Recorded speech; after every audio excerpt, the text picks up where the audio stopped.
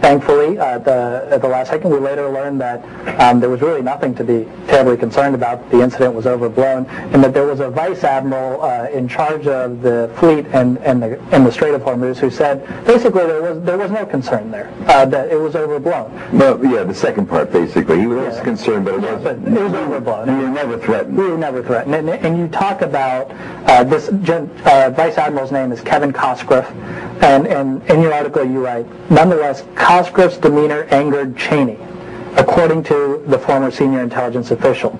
But a lesson was learned in the incident. The public had supported the idea of retaliation and was even asking why the U.S. didn't do more. The former official said that a few weeks later a meeting took place in the vice president's office.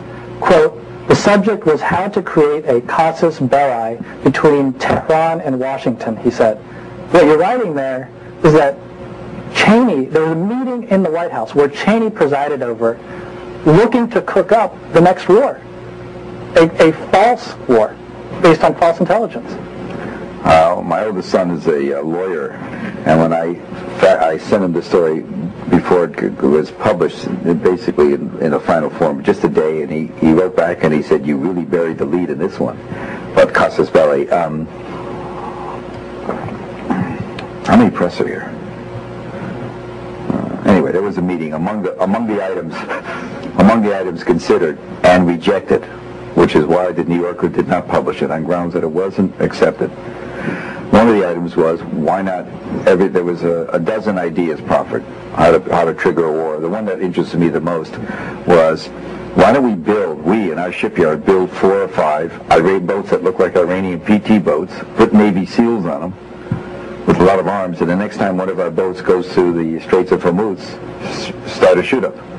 Might cost some lives, and it was rejected because you can't have Americans killing Americans. But that that's the kind of that's the level of stuff we were talking about, provocation.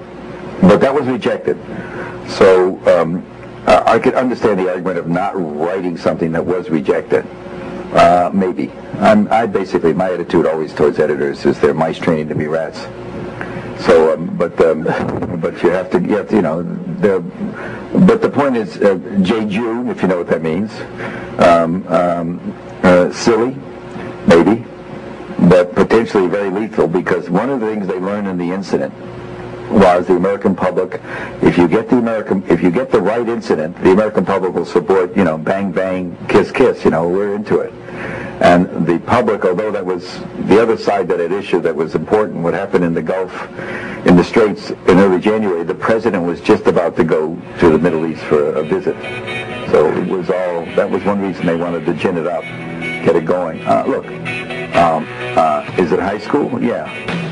Are we playing high school? All right, listen to this. You have the vice president and the neocons in there with the military planning this, and it's all high school. It's funny, ha ha. And we already have the White House memo where they plan it with aircraft. Incredible. We'll be right back.